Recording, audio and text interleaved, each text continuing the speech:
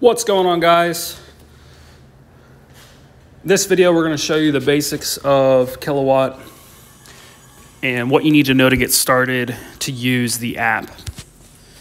Now if this is your first time using the app, you're going to want to do a few things uh, to get your bike on the road and I'll um, walk you through those steps here. Um, up in the right hand corner there's going to be an add button.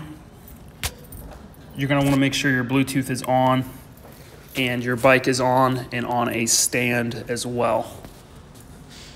Um, your bike should be listed as e-bike in the list if um, the name hasn't been changed and the dealer hasn't changed the name. Um, otherwise, right now, I'm just going to start with a simulated BAC controller as I don't have a bike currently in front of me. You're going to want to name your bike, um, and this is going to be the name that's going to show up in the list. So we'll just name it as test. Auto start mode is up to you. Um, but this is what um, the app will start up when you um, select the app on your phone. If you select off, you will just have to go in and select um, the dashboard in the garage section, um, or you can just have it automatically go to the dashboard. So we'll add this here. When you first add a bike, it's going to create a backup, and the backups will be listed um, in the settings of the bike. So we can name this just first backup. And there you go. Your bike is added to Kilowatt. Not so fast though. Um, in this section here, once you add your bike, um, a few little points here.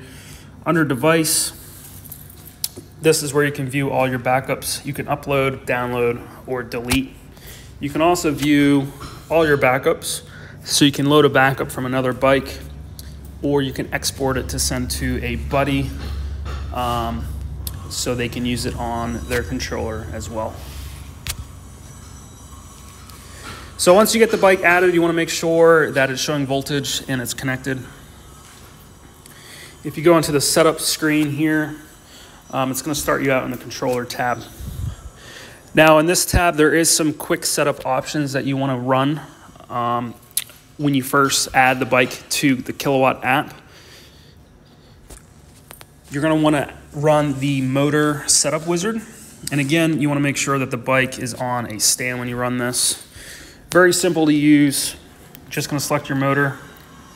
It's going to rotate the wheel and detect all of the um, settings of the motor. So your, your hall sensor settings, how many poles, and so forth.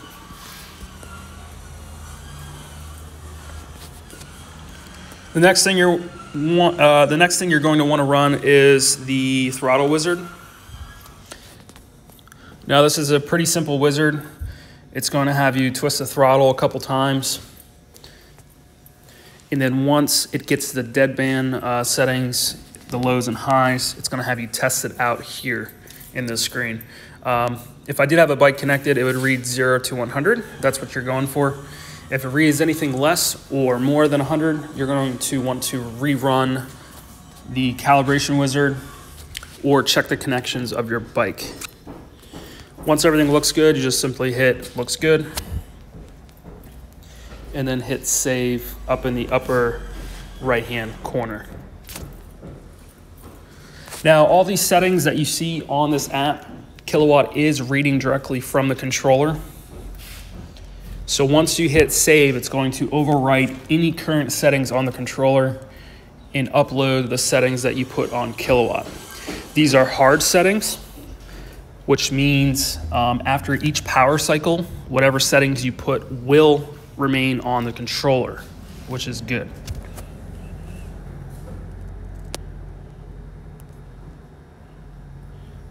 Had a little app crash there. This app is in beta testing, guys, um, so you will experience some hiccups here and there.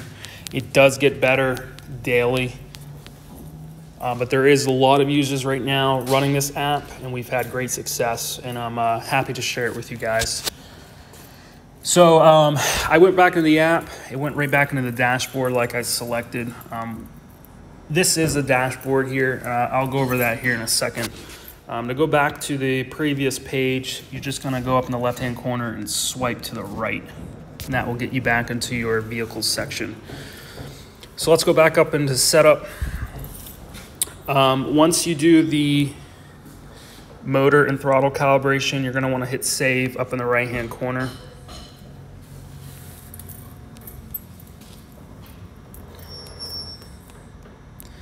This is where all of your diagnostic messages will uh, live. So if you do have a fault on your controller, they will kind of show up here and you can clear them as well. Under the power tab, this is where you're gonna go to input your voltage for your battery. So if you have a stock battery, you're gonna wanna make sure um, it's 60 volt or whatever battery you have in there. And then for stock non-bypassed, I would select the 4.8. If you have a bypass battery, I would start at the 7.2 kilowatt profile, and from there you can adjust uh, accordingly. Phase amps, a BAC 4000, you can only go up to 431. A 8000, um, you can do up in the 800 range. My recommendations are if you have a aftermarket battery on the BAC 4000, I would do at least 431, the max. And then the field weakening, I would start around 9%. Now, again, these settings will be different per person, um, but you'll be adjusting these settings regularly as you go out and tune. So once you have everything set, make sure you hit save up in the right hand corner. And then we can move on to the throttle tab. In the previous page, we did calibrate the throttle and um, the settings that it pulled will be uh, displayed here. So you have 0.920 as your low, 4 volts for your high, and 0.200 volts for your deadband voltage. Now this is the voltage that the throttle starts to operate, so this is gonna be the play in the beginning. So you want it at a point where if you're going down a trail and you're jerking, that it's not giving you throttle. So you wanna have a little bit of a gap there in the beginning. Torque curve tuning, um, this is your ramp time your release time for your throttle and your brakes. This is how fast the throttle is going to ramp up. So if you like a snappy response, um, you can start around 50 milliseconds and go up and down from there. Brake modes, um, if you guys have a harness that supports it, you can use your cutoff levers. You can use a thumb regen or you can use your levers um, as a regen. So when you apply the brake, it will apply regen. So a few settings in there as well, um, but it does give you the state of everything. So once you hit the lever, it should hit braking. If you don't want any of that cut, uh, if you don't want any of the brakes set up for regen braking, you can just hit none. And you also have engine braking as an option as well. So again, once you have all those settings saved or, or inputted, make sure you hit save up in the right hand corner. The next tab we have is a drivetrain.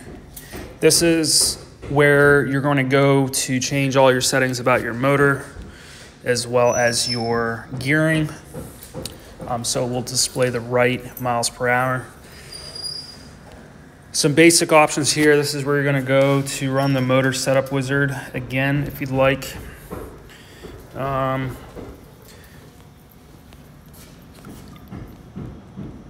your wheels and gearing, the wheel diameter, uh, if you have your stock wheel sizes in there, um, or if you have the supermoto tires, or you're running a different sprocket, um, this is where you're gonna go to adjust the wheel diameter which in turn will adjust your miles per hour. My suggestion is um, get it close and then go out with a GPS app. And you can um, look at the roadside sign, like a speed sign, compared to your miles per hour on the app, and then just go up and down accordingly.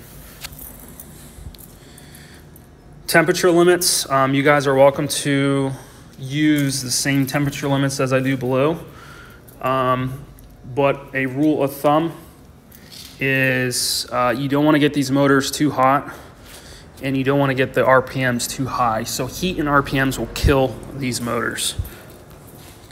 Under advanced tuning, um, this is we're going to go to select your um, power limits or set points for um, if you'd like to have more tuning and control over your throttle as well as the regular bandwidth and the PLL bandwidth, um, KP, KI. These are all advanced settings. If you guys don't know what these settings do, do not change them because you will ruin your bike. Um, best bet is to consult with some tuning guys on here or, or go online or consult with your dealer that you bought the controller from.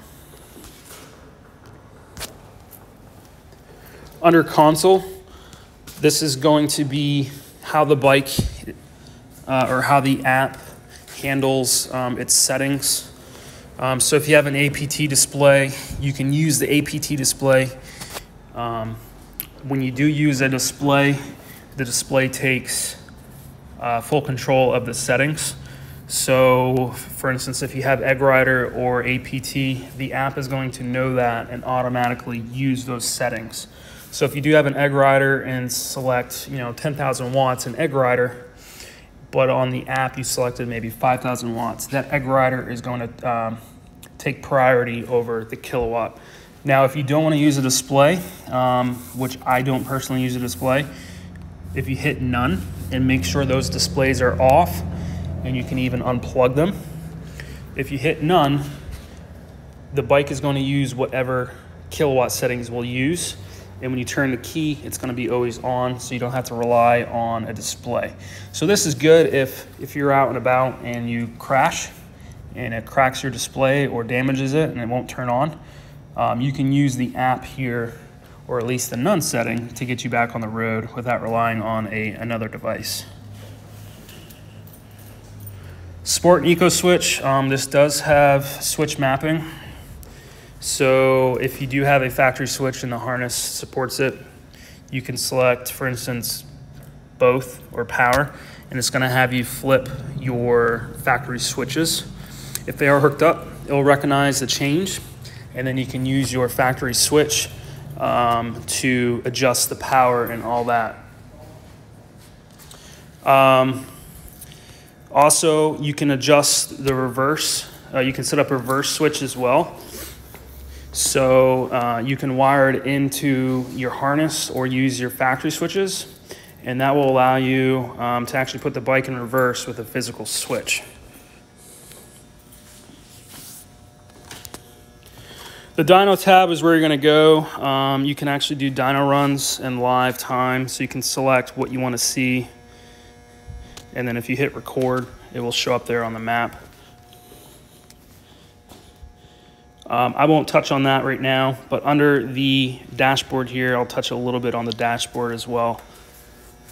So the dashboard is um, vertical or horizontal. Um, pretty basic information, speed, power, your lows and highs for RPM, your max wattage, as well as it displays any faults.